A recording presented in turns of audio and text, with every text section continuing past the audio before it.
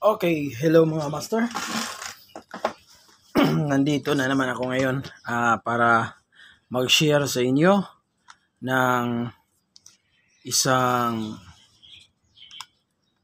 circuit breaker. Okay? So, alam ko marami na rin sigurong nakakaalam at nakikita ninyo sa mga social media tungkol dito sa circuit breaker. Pero ang karamihan na hindi alam at tanong, ah, paano gumagana at ano ang laman sa ilalim ng circuit breaker at kung paano to siya ah, gumagana. Okay? Paalala lang po, hindi po ako professional at kung kayo man ay ah, gustong ah, mag-repair ng inyong circuit breaker, Ah, sa inyo na yung kagustuhan at itong ginagawa ko ngayon ay sinishare ko lang sa inyo kung ano yung ah, gusto kong malaman ah, tungkol dito at kung anong laman sa ilalim nitong circuit breaker na ito. Dahil gusto ko na talagang ah, makakita sa ilalim nito at sinubukan kong ah, i-dismantle siya. So, ito, kung sa nakikita ninyo, mayroon ng basag-basag. So kasi hindi ko kasi alam kung paano siya i-disassemble. So ngayon nalalaman ko na at isi-share ko sa inyo itong dalawang matataas na uh, kanyang rivets. Rivets po ito. Ito yung sa likuran niya. Yan. So ginagawa ko siya, binibilog ko siya ulit. Pero malapad ito dito. Naglock ito siya dito sa dyan. Yan. Nakalock yan siya dyan. So dalawa siya. Ito at saka dito. Itong dalawa naman, dito siya. Pero sa one side lang siya naka-hold. Dito lang. Sa isang side lang. So dalawa kasi ito. Yan. Yan, dalawa kasi yan. So nilagyan lang nila ng joint uh, knob o holder para pag switch on mo o switch off ay dalawa na rin yung mag-action. At itong dalawa yung nag-hold sa isang set dito. Itong dalawa. At itong dalawa namang matataas ay ang nag-hold dito sa dalawa.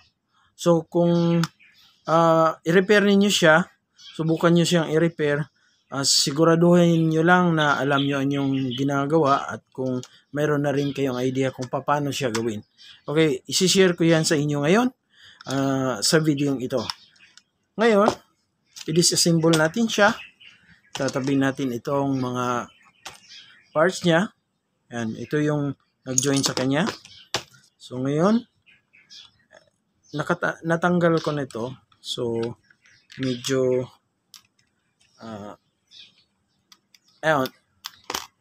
Pag mag disassemble kayo nito, uh, ingatan nyo lang na hindi kagad ma magkalat yung mga parts niya kasi baka mag maglusutan na siya at hindi mo alam kung uh, anong plaster niya o yung arrangement sa mga parts nito. So, ang kailangan nito ay uh, patient po at idea na mahilig kayo sa pagbutingting ng mga ganitong bagay. Okay? Ngayon, tanggalin natin itong isa para makikita natin kung anong laman. Okay. Ayan. Ayan, lumukso itong isa. So kasi, ang problema kasi nitong circuit breaker na ito ay hindi na gumagana yung isang side niya. So, kailangan ko malaman kung bakit at anong dahilan kung bakit hindi na siya gumagana. Kasi yung isang side ay gumagana pa. So ngayon, actually, uh, mayroon akong ginalaw nito at ngayon ko lang naisipan na uh, gawan ko ng video at isi-share sa inyo. At ginalaw ko na ito. At uh, nung una ay litong-lito talaga ako kung sa saan saan ko siya ilalagay yung mga parts kasi uh, naglukso na lahat. So kahit saan na yung mga parts na nakalagay. So ngayon, uh, ipapakita ko sa inyo para mayroon kayo magkaroon kayo ng idea kung anong posisyon niya sa ilalim ng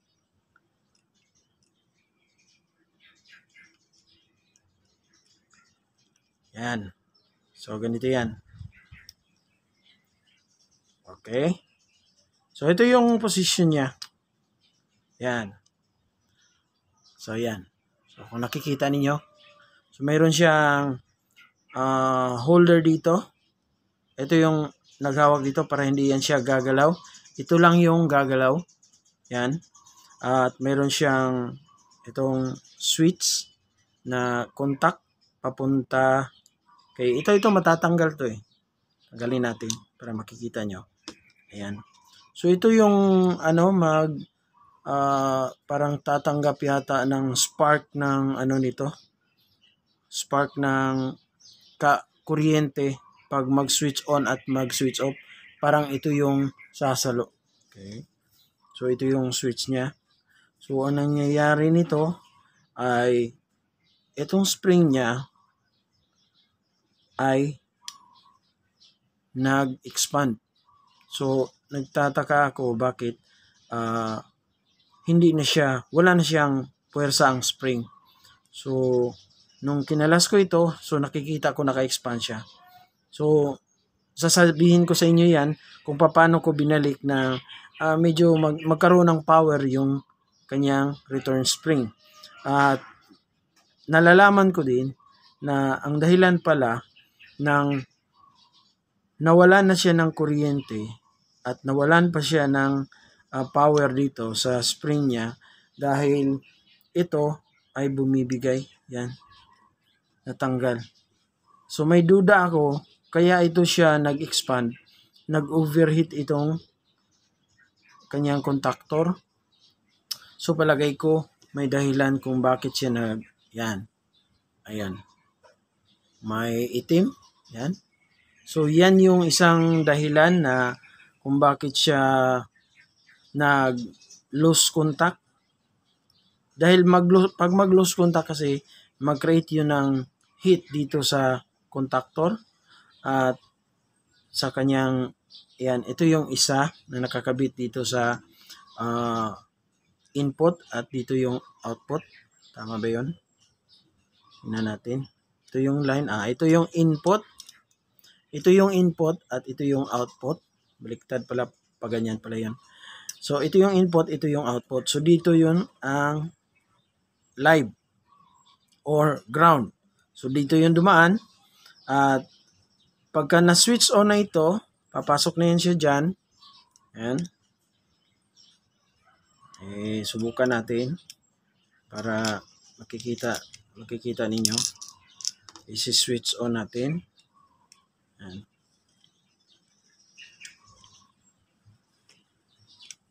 Ayan. So, yan. So, ganyan yung position niya pag mag-switch on siya. So, dadaloy dito yung kuryente, papunta dito. At ito, nakasolda ito dito sa ilalim. Yan, papunta dyan sa dito. Ayan. So, ito, tataka kayo anong trabaho nito. So, ito yun siya ang mag-switch off pag magkaroon ng short circuit o high current na dadaan kasi 30 amperes lang to siya. So, pag lalagpas doon sa 30 amperes, kung saan kaya niya, mag-switch off ito siya. Yan. Yan yung sitwasyon niya. Ganon yung mangyayari. Mag-down ito siya at ito, didikit ito siya, didikit ito ganito. Yan. Kasi, ano kasi yan, naka-curva kasi yan. Yan, nakaganyan. Kasi, ano yan siya, pag mag-init yan siya, kasi, kasi ito kasi, mayroon itong dumadaan na kuryente. At ito, nakadikit siya dyan. So, yung init nito, ta-transfer siya dito. Lilipat siya dito. Yung init niya. At yun ang dahilan kung maggalaw na siya, didikit siya dito, ang mangyayari, i-release niya ito. Yan. I-release niya yan. Bababa yan at automatic po na naka-off. So, ang dahilan ng pagkasira nito ay lose contact at